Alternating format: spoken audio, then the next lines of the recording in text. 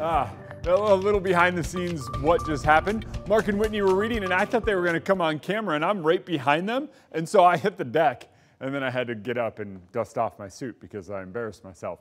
Isolated thunderstorms today. It's sunny through Easter weekend and those temperatures just keep rising.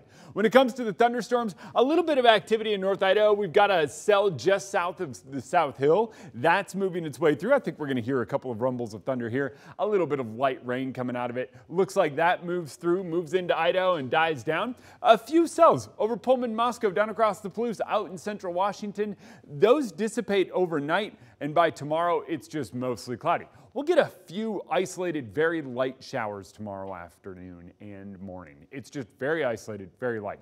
The big story here is just how cloudy it's going to be and Uh, how we're going to turn the corner to a warm and sunny weekend. Saturday looking fantastic. Sunday even better. High up near 60 degrees. Overnight lows are going to be quite chilly and keep in mind coldest time of the entire day, that hour after the sun comes up. So the mornings, cold. The afternoons, warm. Dress in layers. I'm supposed to tell you stuff like that, but here we are. Overall, it's that storm off the coast that threw us that energy. As that dives down to California, we nose in a ridge of high pressure, and that's what takes us into next week. All sorts of sunny, warm, and very, very dry. The overall weather pattern looks to kind of stay that way, but are we going to stay that way for a very long time?